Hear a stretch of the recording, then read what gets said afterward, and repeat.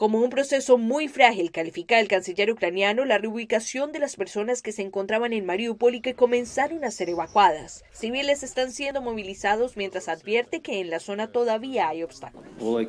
Todo lo que puedo decir hasta ahora es que aplaudimos los incansables esfuerzos de las Naciones Unidas y el Comité Internacional de la Cruz Roja para que esto suceda. Pero todo es muy frágil. Las cosas pueden desmoronarse en cualquier momento. Así que es mejor esperar a que termine la evacuación. Mientras tanto, autoridades aseguran que en otras zonas del país ocurren ataques rusos.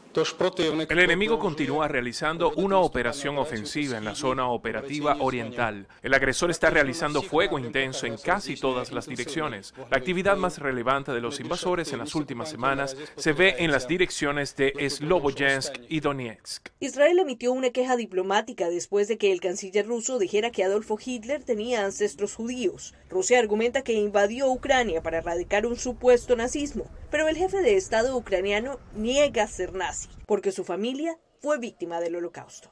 Él, Zelensky, presenta un argumento. ¿Qué tipo de nazificación podemos tener si soy judío?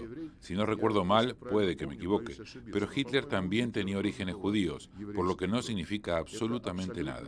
Durante algún tiempo hemos escuchado de los sabios judíos que los mayores antisemitas eran judíos. Al respecto, el canciller israelí calificó de graves las declaraciones de su homólogo ruso, quien mencionó que Hitler fuera también de origen judío e instruyó a su equipo diplomático para que se retirara de Moscú. Laura Sepúlveda, Voz de América.